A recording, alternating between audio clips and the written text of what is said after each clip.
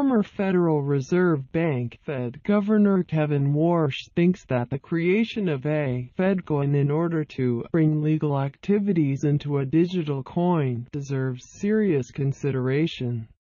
The New York Times reported May 4th. Kevin Warsh is an American financier who was governor at the Fed from 2006 to 2011. He was a top contender to become its chairman when the Trump administration chose Jerome Powell instead. Warsh said that if he had returned to the Federal Reserve, he would have formed a team to think about the Fed creating FedCoin, where we would bring legal activities into a digital coin. He stated, not that it would supplant and replace cash, but it would be a pretty effective way when the next crisis happens for us to maybe conduct monetary policy. Warsh said that most central banks have a view that these crypto assets are clever. Like guys in the garage did it and it's kind of cool, or risky, given the possibility for investor losses and widespread fraud. He reportedly noted that blockchain technology would deliver benefits to the Federal Reserve in terms of the payment systems it operates.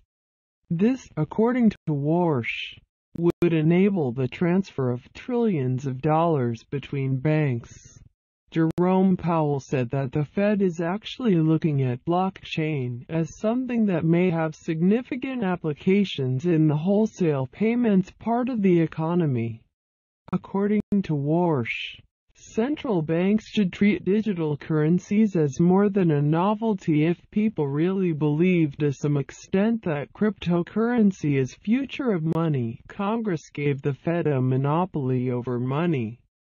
And if the next generation of cryptocurrencies look more like money and less like gold, and have less volatility associated with them so they would be not just a speculative asset but could be a reliable unit of account. As a purely defensive matter I wouldn't want somebody to take that monopoly from me.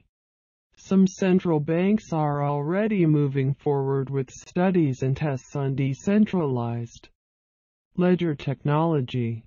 In March, the Bank of England announced it was undertaking a proof of concept study to understand whether the renewed real-time gross settlement RTGS service could be capable of interacting with blockchain the European Central Bank completed research with the Bank of Japan on blockchain's potential for transforming securities settlements.